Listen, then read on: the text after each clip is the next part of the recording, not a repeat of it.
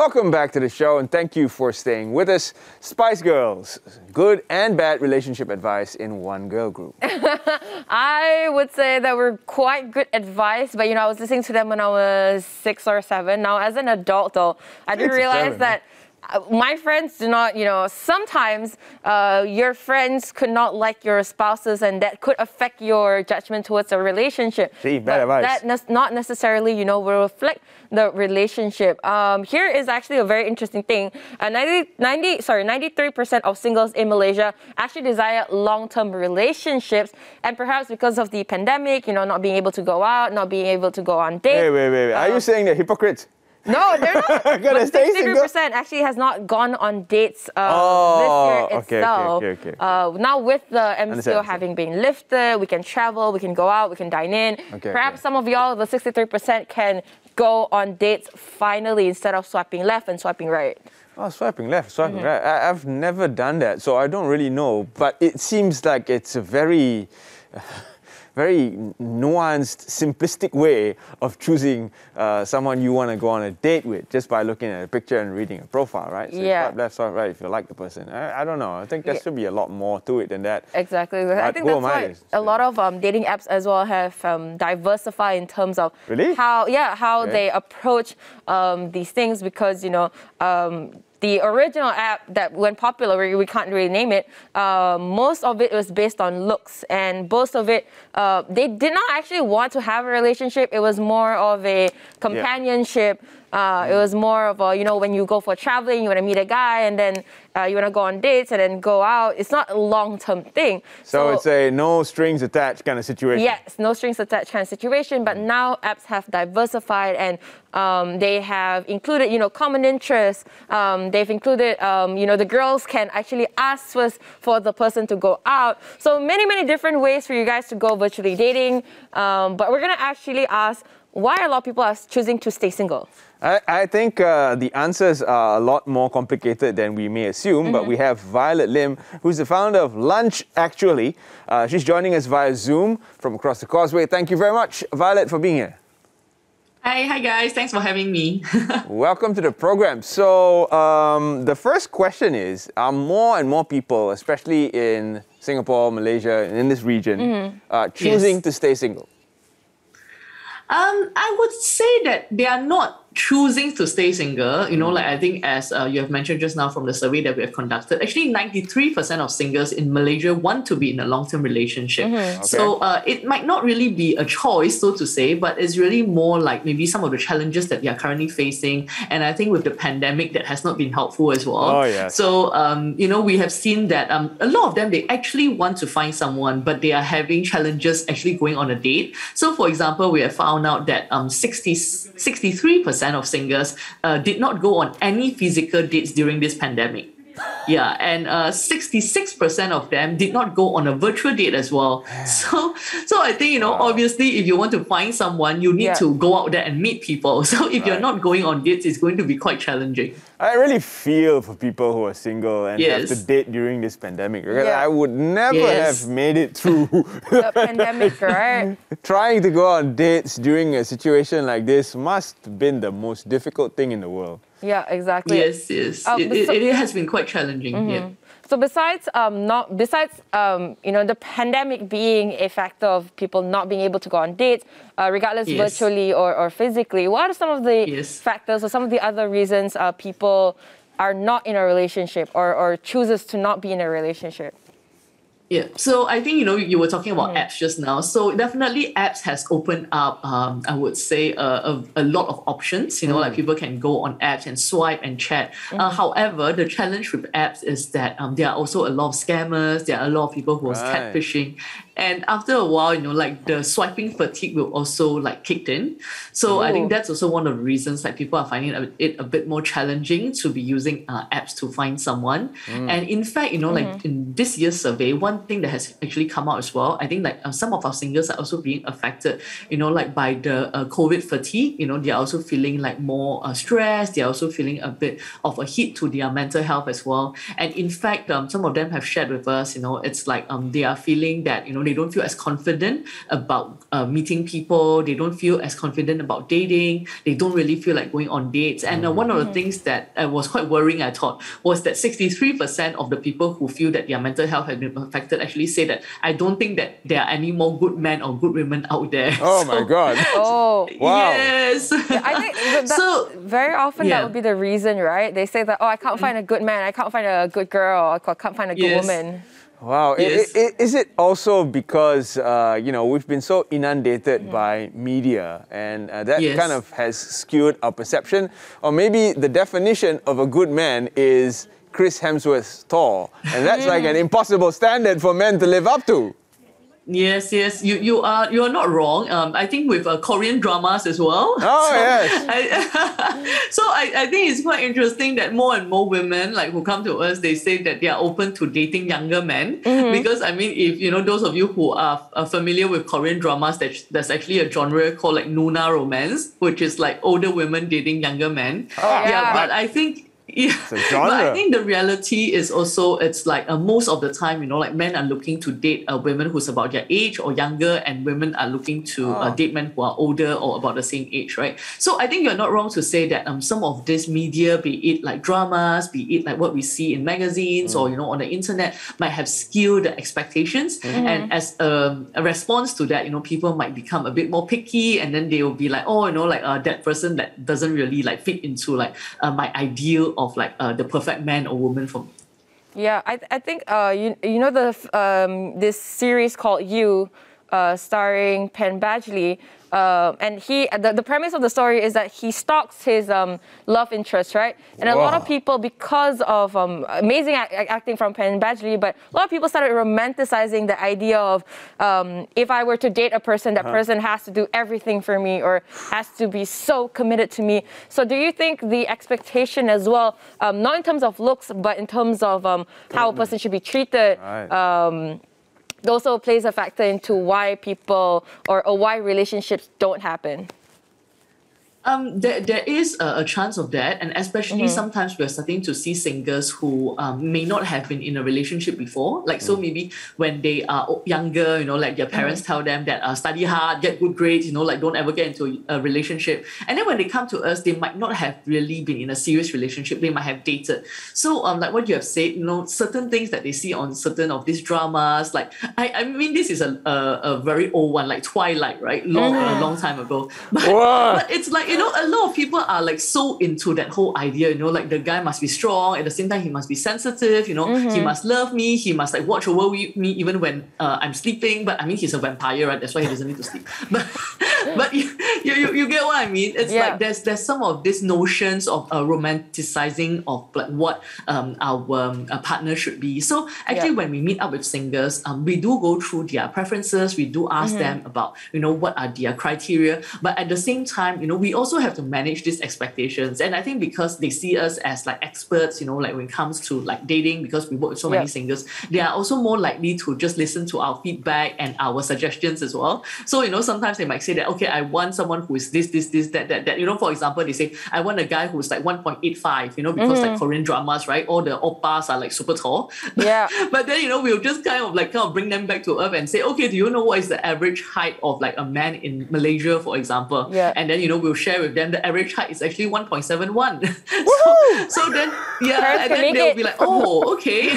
So so I, I think these are some of the things that uh, we Yeah. want to share with them. And ultimately we also say that when you're looking for someone like we understand superficial criteria for example height you know for example like maybe career you know for example uh, the outlook is very important but what makes a relationship you know continue or whether for a marriage to last is actually more on the significant criteria which is really about you know like um how good this person is in terms of going to be a good father a good husband you know like loyalty compassion. So you know we just help to refocus them on what is the uh, most important thing when Right. it comes to finding, you know, like love in that sense. I don't know, Right. How are you going to gauge that? You know, like Yeah. loyalty. Is there a metrics for loyalty, or how someone can Mm-hmm. you know stay committed? Is there a way to kind of I, I wish there predetermine is. that? I wish there is. So uh, to answer think there that, is. we, we can't. But uh, what we do is like we spend you know one to two hours with our clients, and subsequently after that, we also continue to have like feedback sessions with them. Hmm. So you know, like at least we are able to match them according to their values because we feel that at the end of the day, uh, values compatibility of values is the most important. So for Right. example, like some great. people like for them family is super important. They Mm. need to see their parents or uh, family like once a week. You know, like the other party might be like, you know, I'm fa- happy to see them like once in three years or something. So the Yeah. family values, you know, it, it needs to be compatible. Similarly, like with uh, religious values, with like um how they handle money, you know, like how they even see like uh, personal growth, uh, self growth, things like that. So when we are doing the matching, like we focus more on this to help them to uh, you know find someone who is more compatible with them because we feel that that's something that will keep uh you know like make or break a relationship. Yeah, You know, I, I, I'm I'm Indian, and uh, the Indian movie idea of romance. Mm-hmm. I mean, the the idea I grew up with anyway was that you meet Yes. someone, and then there's this Yes. instant connection, and then in your head you are dancing around coconut trees and.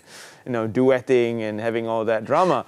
Uh, Yes, yes. So somewhere, somehow, that that image uh, is, still pretty much in the psyche of some people. Mm-hmm. Uh, But I, I also think, to a large extent, that's been totally uh, disintegrated Yeah, by what we've been yeah. discussing so far. Because Yes, the yes. requirement is a lot more uh, than just that Mm-hmm. physical first uh, sight connection. Mm-hmm. Uh, how can we build this without the help of um, a third party or without the help of gadgets? Because today, in this well, we're still in the pandemic. Mm-hmm. in this pandemic uh, ridden world, uh, I think making that connection is going to be a lot more difficult. So, what kind of tips Yes. can you share with singles out there, uh, especially in the area of looking for red flags?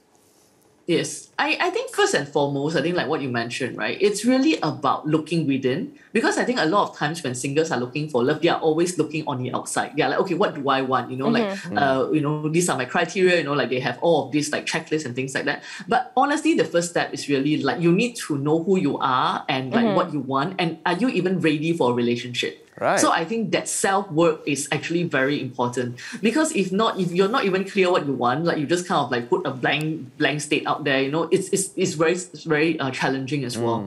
And I think the next thing um, to look out for is, I mean, especially people who are using apps. I always say when something is too good to be true, chances are it is too good to be true.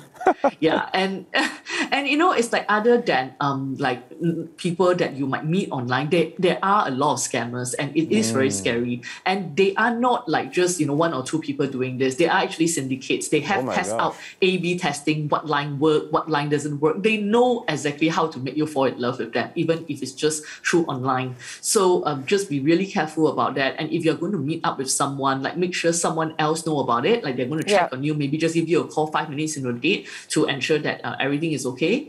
Um, and I think um, ultimately it's really having a positive mindset and you know like to not give up because you know like we talked about just now about the mindset. Some singles they will be like, oh, you know, like there's nobody out there for me. Like all the mm-hmm. good men out there in the world are like date, married, or gay. You know, it's like if you constantly think that, like it doesn't matter how many good men, you know, like me as a matchmaker put in front of you, or you meet on your own, you will just think this person is not good because all good men are like doesn't exist, right? Yeah. So um, and I think it's important to know that you just need one ultimately, right? Mm-hmm. Like even though you you keep meeting darts or you keep getting rejected or you just doesn't seem to get anywhere, but just remember at the end of the day, you just need one. So you know it might be tiring sometimes. You might just want to take a break, and that's that's per- perfectly fine. You know, like just go explore a new hobby. Yeah. You know, catch up with your friends. But ultimately, you know, like do not use that as a defense mechanism because you know I believe that there is someone out there for everyone.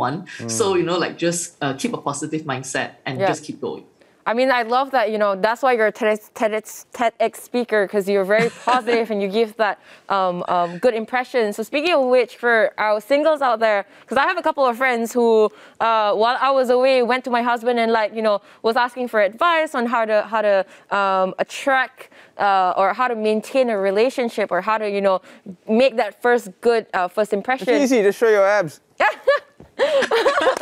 Done. We're, we're, we're trying to go beyond physicality here. I'm kidding, I'm kidding. Violet, do you have any um, tips or, or, or uh, uh, things you want to share on how to, you know, keep a good impression and how to keep a, uh, uh, uh, try to make sure that, you know, the person, uh, female or male, have the second and third and fourth date and eventually, you know, will Yes. will get into the long-term relationship? Very good question, Mm-hmm. and I'm not going to give you, you know, the usual uh, tips that you read, you know, like be punctual, dress well, and things like that, because Yeah. you can already find that on internet. Yeah. So, um, what I want to say is that remember the objective of a first date is to score a second date. That's Ah. all. That is the objective, okay? And then you need to remember that you know with dating apps, people are going to meet a lot of people. They are not just chatting with you. They are not just meeting with you. Yeah. Chances are they are meeting a lot of other people. And people always talk about the same thing all the time. They are going to ask you things like, oh, no, what do you do? What is your hobbies? What do you like to do in free time? What are your interests? So the, the mistake a lot of people make is they just kind of jump around. They are like, oh, you know, I like watching movies, you know, like these are the movies I watch. I like, you know, like um I playing golf. You know, it, it doesn't go deep. And that's the problem. If you have gone on like 10 first dates and like everybody just kind of like just go on the surface, right? Like who are you going to decide on who to choose or like who is going to leave an impression? So my suggestion is that prepare like anecdotes, prepare little stories, short Uh-huh. stories, you know, like sweet stories to help you to share who you really are. For example, you know, like you're Ah. someone who is like very family oriented. You know, Right. like you cannot like go out and say when people go on a date, they say, "Oh, so tell me about you," and you say like, "I'm very family oriented." It's very weird, right? Yeah, so, yeah. so it's like you know, just prepare stories. Like for example, they ask you, uh, "What do you do in your free time? What do you do during weekend?" And of course, I mean, don't make this up, right? I mean, just make sure Mm-hmm. it's part of like uh, who you are. So, for example, like let's say on weekends you actually go to your parents' place, you know, like Mm-hmm. so you can say something like, "Oh, I actually go to my parents' place, you know, like enjoy cooking." So Yeah. sometimes I'll just whip up some dishes for my parents so that you can try it together. Mm. So you know, immediately in this short story, people know that oh, you know, you have filial piety, you Mm-hmm. enjoy spending time with your parents, you like cooking, you like experimenting with new things. Yeah. So so it's like use this opportunity to showcase who you are because ultimately when people look back at each day, they cannot Mm-hmm. remember all these facts. What they remember are stories. Yeah, yeah, I Yeah, yeah. agree. Um, how much of these stories, or how much of these, um, especially for for our friends out there who do have you know online profiles, how much should Yes. they, I would say, uh, uh, uh, make themselves look good? You know, how much should they polish the story? How much Yeah. fluff is needed? Yes. okay, I, I think ultimately it's like be yourself. Like definitely do not like, you know, polish it to the point that it's not you anymore. Like what we always work with our singers because we do coaching as well. What we are trying to help singers with is to be the best version of themselves. So, you know, like rather than just say, uh, I stay in Sungai Buloh, you know, like I, I drive a car, you know, things like very basic stuff. Yeah. You just want to share like a bit of like uh, insight into who you are. But when you're writing the profile, you don't want to share too much as well because the idea is that you want people to be curious to Right. then message you and then ask you more. So, you know, like for example, if you say that um, I, I enjoy traveling, like you know, a lot of people will say that I enjoy traveling, and then it's like, okay, so why is that interesting, right? So rather than just saying I enjoy traveling, you can say something like my last trip was to like um, Iceland, for example. I mean, again, please make sure it's true, lah, right? So Yeah. like, let's say my last trip was to Iceland and it was fantastic, and you know, I'm looking for my next big adventure. Like, so if you have been to somewhere really cool and nice, you know, like share Yeah. with me like what is your best adventure. Right. Wow. So as a person who's looking at that, I'm like, oh wow, this person is really adventurous, you know, like same thing as me, and I can use this as an opener and say, Yeah. I would love to go to Iceland, but I've been to like, I don't know, like I've to, I've been to climb Mount Fuji. Yeah. Like, you know, would you like to know more about that? Wow. Okay. So that, that's Ah. a lot of interesting stuff that you can add on to your Yes. dating TEDx speech. Exactly. which you're going to be using. Uh, but you know, for, for guys like me, we come polished, so you have to take us one way or the other. We're always polished. Uh, I, I would like to say a big thank you to Violet, but before you go, um, maybe just share a little bit of uh, how you can be reached, how can they contact you if they require any further information on how to move on with their dating life. Okay, so um, definitely they can check us out at our website, uh, which is uh, lunchactually.com, or I'm on IG as well. So you know, like we are at on Lunch Actually, and I have my IG uh, Violet Lim. So you know, like feel free to just follow me. I uh, do share dating tips here and there, and yes, you know, like uh, hoping to, uh, I, I would say you know to all the singers out there, like I mentioned just now, most important is like keep a positive mindset and do not give up, and remember you just need one. Right. All right, love Right. it, love it. That's gonna be good. my Instagram quote for the day. Um, you need just one? need one. yes. Thank you so much, Violet. I hope you have a great okay, and no amazing problem. day. Thank you guys. Have a good weekend. Bye. Bye.